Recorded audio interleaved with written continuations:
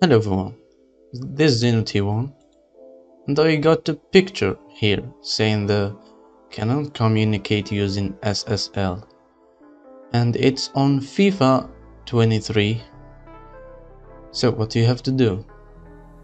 Yeah I've been researching that and I found some kind of forums. So all you have to do is to go to ea.com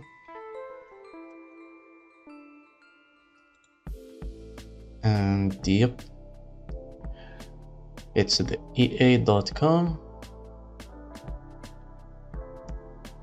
and you basically click here on profile to just log in sign in.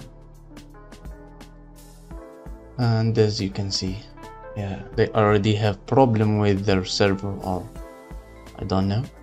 It's like the outbreak of uh, EA right now. So what you have to do is to log in with your PlayStation account and yeah you do all that stuff and that's how you fix it.